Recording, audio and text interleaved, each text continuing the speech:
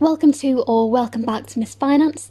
On today's episode, we're going to look through student finance, in particular student credit cards, and we're going to delve into the pitfalls of credit cards, specifically what not to do. Before you go ahead and apply for a credit card, there are a few things that you need to think about. So, the first one being what is your current credit score? And if you don't know what that is, there are certain ways that you can you can see that for free. So don't ever pay to see your credit score. Your credit score should be free, and if it's not free, then move on. Have a look at something like Credit Karma, which I've always used. It always gives me my full credit score with a very detailed report and often gives me ways of improving my score. So have a look at your credit score. Now, student credit cards work in the same way as a normal credit card, but they typically have no annual fee to pay, and they usually offer you quite a low rate of credit to stop you from spending too much credit. For a lot of students, your student credit card is your first credit card, and so there's a lot of terminology that goes with that that you might have a little bit of trouble understanding. So in today's video, I'm going to go through exactly what those terms mean and how you can make the most out of your credit card to hopefully build your credit report and allow you to take out credit at a lower rate in future. Now, one of the main benefits of a student credit card is that they actually help you to build your credit report and your credit history. Now, as long as you make the minimum payments every single month or you pay off that amount in full to avoid any interest, then student credit cards can be really useful because in a lot of cases they give you rewards back in the form of vouchers or money which can be useful when you come to buy, say, a laptop or some other equipment that you require for your course. Now, there are also some disadvantages to taking out a student credit card. One of them being that if you borrow more than you can actually pay back, obviously you're going to have some debt issues there. They also don't always offer the best interest rates available. You could find yourself paying more interest than what you really should be doing in comparison to other credit cards if you don't pay off that amount every single month. The other thing to consider that student credit cards actually take into account your income. So if you're looking for a, quite a large purchase to make and you're thinking of doing that through a student credit card, probably not the best way to go because they're not really going to give you a large amount of credit in the first place. And also the interest rates as stated before are not going to be exactly great. Now you want to be checking the annual percentage rate on any card that you're thinking about applying to. They will abbreviate this to APR in the text and that is the percentage of interest that you're going to be paying annually. So if they say something like 24% APR, which is quite high, you'll be dividing that by 12 to give you the monthly APR, so the monthly interest rate that you'll be paying on that card. Should you not pay off the amount in full every single month. The next thing to consider is the penalty charge. In a lot of cases, again, dependent on the credit card itself, you could have a penalty charge, an annual penalty charge. So it's almost like an admin charge that they'll add on top of what you're paying. So it could be £30, £40. It's useful to make sure that you're aware of the annual penalty charge that you could be facing. The other thing to consider is penalty charge differs credit card by credit card for going over your credit limit. Some might charge £30 a day, some might charge just a standard £30 per month for going over, or missing payments, they'll also charge you there. It's worth reading the small text. Could end up in a very, very bad situation if you haven't paid your bill on time or if you just missed a payment by mistake. The key here is never to spend more than you can pay back with a credit card. Be smart. Don't fall into the traps. So, where a credit card company offers you £15,000 as a credit limit, that does not mean that you should spend £15,000. And we'll go into that a little bit later.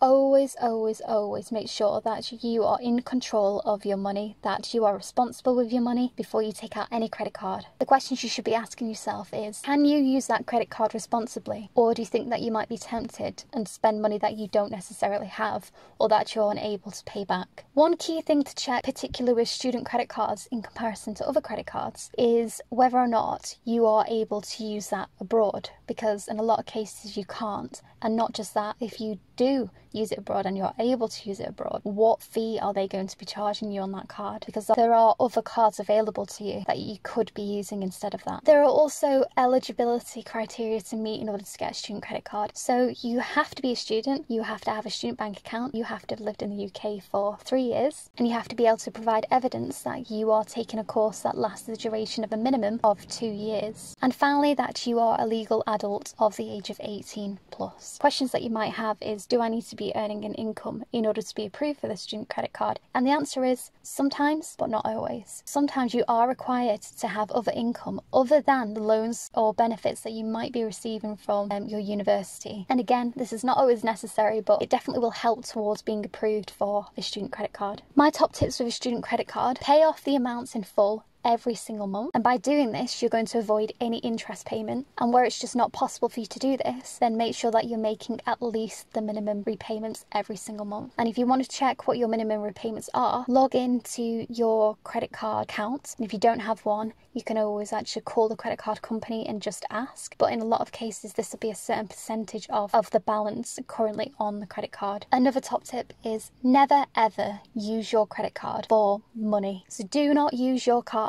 to make cash withdrawals. There's many reasons for this. Firstly, it's because the credit card company does not know what you're using that money for. So for all they know, you could be using that money to buy drugs. Quite far-fetched. So they don't like people using cash withdrawals on a credit card. So what they'll do is they'll just up the interest. If you're in a really sticky situation and you absolutely have to have some cash of some kind, Whatever you do, just do not use your credit card. Find another ways and means.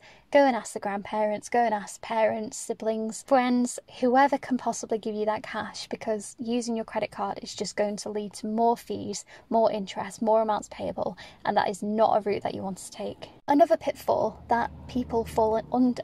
This was something that again that I didn't understand when I was a teenager with my first credit card. They offered me a £1,000 credit limit. So instantly you think, and being a student, I have a thousand pounds to spend. Well, here's the unfortunate truth you don't. You should only be spending approximately 10% to 25% of your credit limit. And I know a lot of people say 30%, but having personally experienced this myself, I used 30% of my credit limit and my credit um, score actually went down. So I'd recommend always sticking to only 25% of your credit limit spend on any single credit card. Say you have three cards, each with £3,000. This does not mean that on one of those cards you can then spend 50% of the total credit and then say 10% and 10% on the others. So in total you spent 70% and you think, oh, divide that by three, I'm only therefore spending 23% of the total credit available to me. But that's not how it works.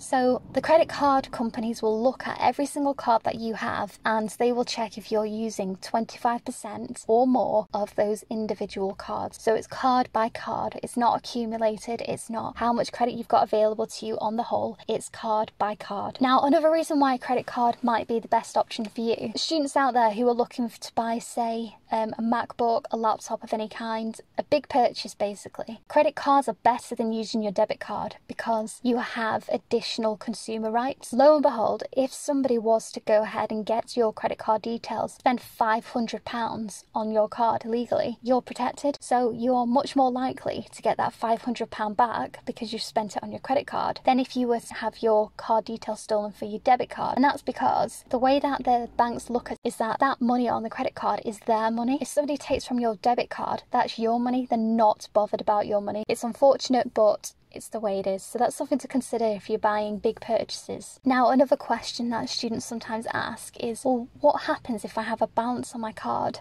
and the end of my course is coming up? You might be a little bit worried that you still have a balance on there. But what will actually happen in a lot of cases is the bank will get hold of you to let you know that your card is expiring. And if you've been making regular repayments of that, the card, or you've been clearing the balance entirely and you just so happen to have a balance at the end, then they are much more likely to then offer you a um, a graduate account card. So they might even upgrade the credit card to another one for you where you can just transfer the balance over. However, I wouldn't go down that route because in a lot of cases you have some credit cards available to you that will offer you a better rate of interest, better that will offer you more credit, better credit, better terms and conditions than what those graduate cards will. Now, is there any alternative to a student credit card? And the answer would be yes, yes there is. You could always have a student overdraft and the student overdraft might be a better option for you. So the bank will offer you a interest-free student overdraft and assuming that you stay within that overdraft limit you won't face any interest. But if there is a balance on there again at the end of your course then you may then face interest from the bank. If you found this useful please do like and subscribe and hit the bell button for notifications because it really does help. Otherwise I will see you on the next video.